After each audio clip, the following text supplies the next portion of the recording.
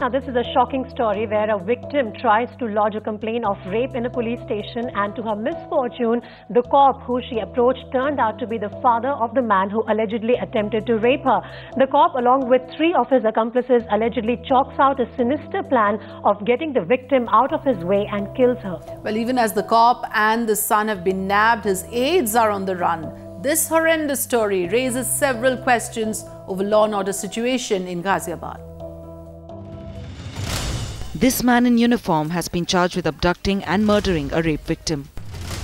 Sub Inspector Bachu Singh, along with a constable, hatched the most heinous plot that of abducting and then brutally killing a young woman.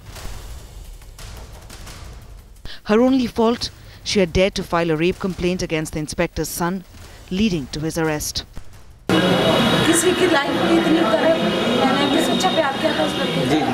अपना सौंप दिया था जी कौन था वो लड़का जिससे? करुण चौधरी करण चौधरी कहाँ पे है ये क्या करते हैं With the law catching up with his son, the inspector, along with three other accomplices, got together to strategize the complainant's murder. The result she was killed and her body dumped in a canal.